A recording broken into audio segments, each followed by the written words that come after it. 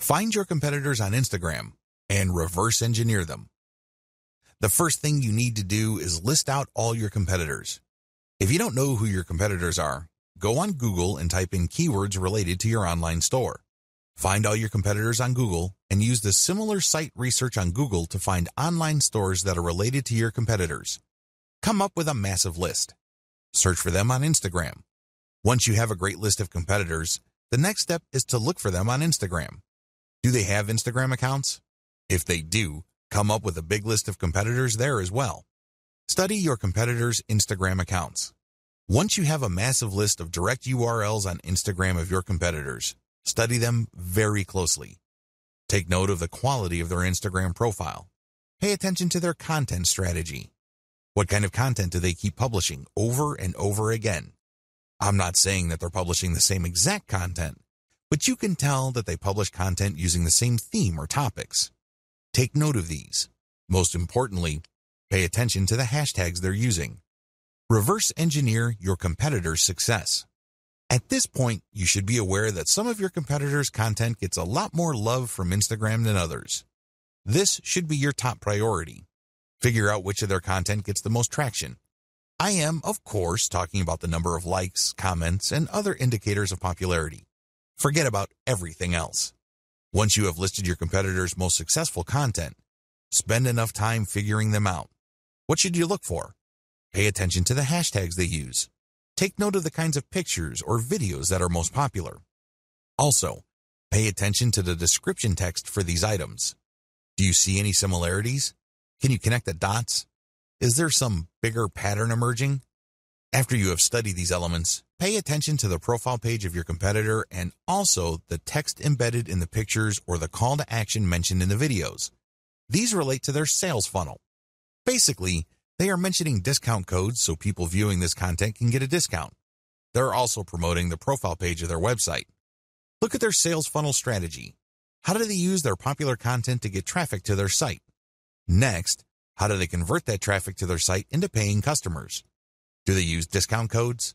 Do they just dump them directly to their sales page? Is there some sort of special promotion they are holding? Do they dump people into a squeeze page so people can sign up to a mailing list that will notify them of special sales? Be clear on the sales funnel strategy that is most common among your competitors. Please understand that they will not use this model if it doesn't work. The fact that you keep seeing this model in many different forms again and again pretty much tells you everything you need to know about that sales funnel. They wouldn't be promoting it if it didn't work. Learn to connect the dots. At this level, you need to write down extensive notes regarding the three key factors for your success. Your goal is to understand your competitors' content so you can beat them at their own game. You're going to copy their themes. These themes are content themes. These are the things that they talk about consistently, which get a lot of love from their followers. Next, you're going to copy their sales funnel. There's a reason why the vast majority of your competitors have adopted pretty much the same sales funnel. There's no need for you to be a hero. There's no need for you to come up with something completely new. You just need to identify what works and build something similar. You need to build something that will improve on what your competitors have done. Next, you're going to pay attention to their content because you're going to come up with something better so you get a competitive advantage. These are the three strands that you need to put together for you to come out ahead of the competition on Instagram. Otherwise, you're just going to be sharing the same general stuff that they are sharing and this is not going to help you. Seriously. Why? Well, you're not building a distinctive persona. You're just playing the game to be just another face in the crowd. At the back of their minds, your target audience members are saying to themselves, well, I can get the exact content from this brand's competitors. Why am I here? I'm not getting anything spectacularly different. The key here is to copy the same themes and the same sales funnels, but also to improve on them. In other words, you build on the strength you leverage the strength of your competitors, but end up doing better than them because you address their weaknesses as well. You're going to be able to do this when you figure out their winning content themes and then come up with your own higher quality content. Second, you figure out their most popular hashtags and you use those hashtags for your own content.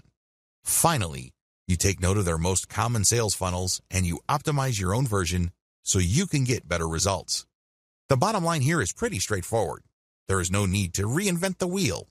Some of your competitors are already successful. build on their success. Use reverse engineering to let your competitors do your homework for you. There's absolutely no need for you to start from scratch because, believe me, the trial and error that you have to go through that burns up a tremendous amount of your time, effort, and energy is just simply too expensive.